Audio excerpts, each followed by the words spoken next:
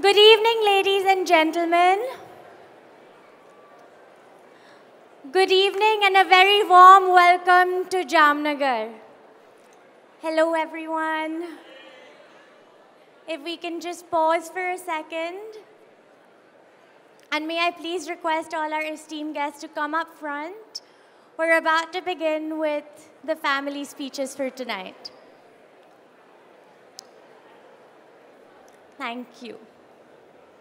Ladies and gentlemen, today marks a joyous occasion as we gather to celebrate the union of my beloved brother Anant and his bride to be Radhika.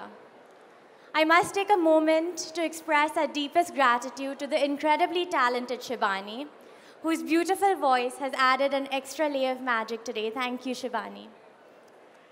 Most of all, I want to extend a heartfelt thank you to each and every one of you for gracing us with your presence here in Jamnagar. Your willingness to travel without knowing what your accommodations look like and the inability for any one of you to Google what that could look like really means a lot to us. Thank you for trusting us and thank you for being here to celebrate with us. We're so thrilled to have you in our special place. Jamnagar has been our home and has been a place that for my family and me has been truly, truly special. Good evening, ladies and gentlemen. Good evening and a very warm welcome to Jamnagar. Hello, everyone. If we can just pause for a second. And may I please request all our esteemed guests to come up front. We're about to begin with the family speeches for tonight. Thank you.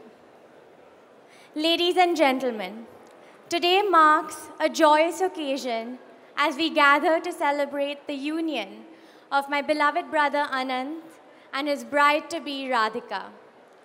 I must take a moment to express our deepest gratitude to the incredibly talented Shivani whose beautiful voice has added an extra layer of magic today. Thank you, Shivani. Most of all, I want to extend a heartfelt thank you to each and every one of you for gracing us with your presence here in Jamnagar. Your willingness to travel without knowing what your accommodations look like and the inability for any one of you to Google what that could look like really means a lot to us. Thank you for trusting us and thank you for being here to celebrate with us. We're so thrilled to have you in our special place.